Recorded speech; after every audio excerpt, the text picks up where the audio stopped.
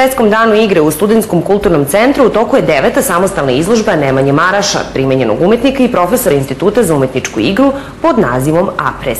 Nemanje je bio naš vodič kroz ovu zanimljivu izložbu, a evo i šta nam je sve ispričao.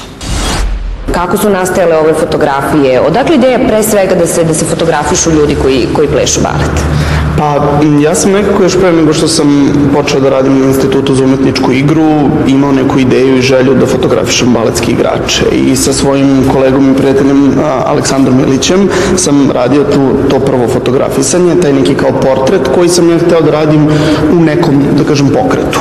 A, fotografisao sam njega, fotografisao sam još jednu devojku i onda sam kroz razgovor s njim shvatio da zapravo postoji mnogo toga što bi ja trebao da znam o samoj igri, jer fotografije koje su nama fotografima dobre nisu automatski igračima dobre, jer posmatramo različite stvari. I onda sam ja nekako shvatio da zapravo nisam spreman za, za, za to i ceo projekat sam pauzirao.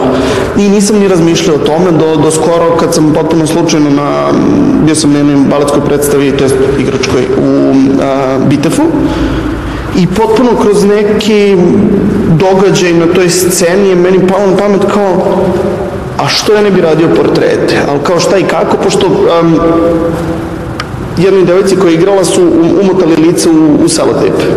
I onda je meni to bilo zanimljivo i nekako mi je bio u stvari zanimljiv taj moment te energije uopšte cele i do, javila mi se ta ideja da je zapravo taj pokušaj da se posle same predstave istog trenutka zabeleži, da je to pokušaj da se uhvati ta neka sirova energija i emocija koju igrač sa sobom nosi sa, sa same predstave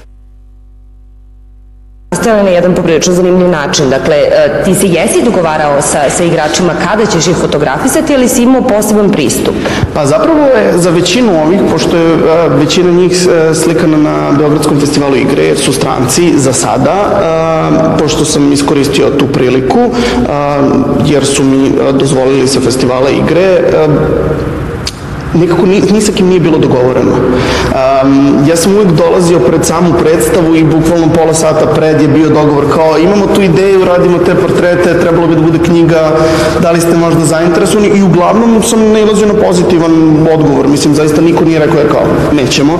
Pritom imamo na interesantnu uh, situaciju um, Kilijanove produkcije, oni čak ne dozvoljavaju da se fotografiše ni uh, predstava, ali su pristali zapravo da se da se fotografišu.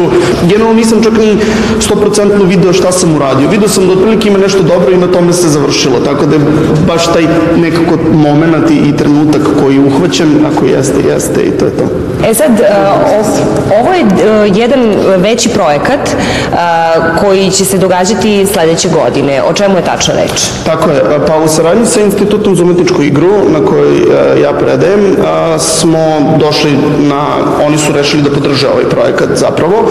Zapravo ove portrete koje radimo, finalna neka ideja da oni budu u formi neke monografije, neke publikacije i najverovatnije će tu biti nekih 30 portreta, tako je zamišljeno sad, vidjet ćemo naravno, možda bude više, možda bude manje, e, tako da će zamišljeno da knjiga izađe 29. aprila sledeće godine za dan igre. Dobro, hvala ti što si se sa nama prošetao kroz svoju izložbu. Hvala Sve najbolje, vidimo se sledeći put. Hvala.